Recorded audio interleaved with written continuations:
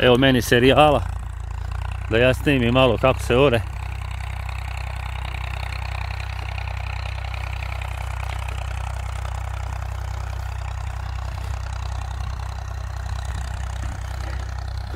Evo nalazimo se u Švici.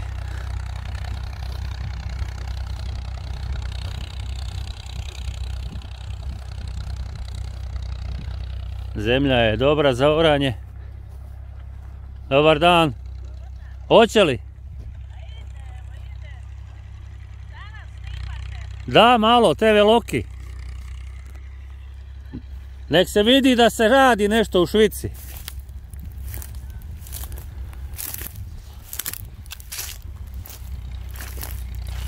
Hoće biti krumpir ovdje, hoće sigurno.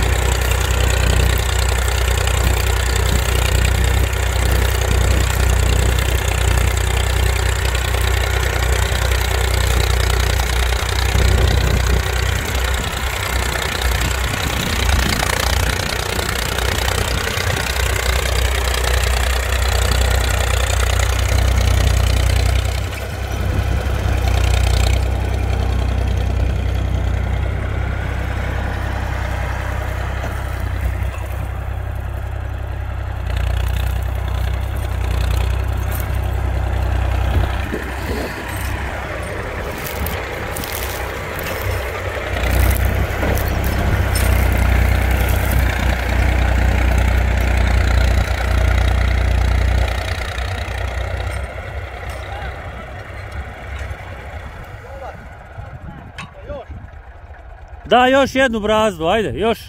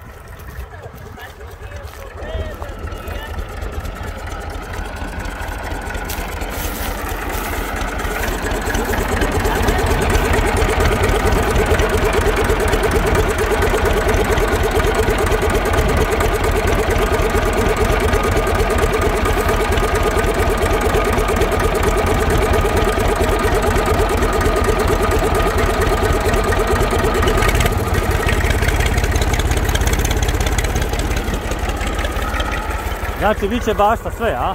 Sve. Neka, neka, ovo je lijepa zemlja. E, Ja sama snimim, ali meni Je, je.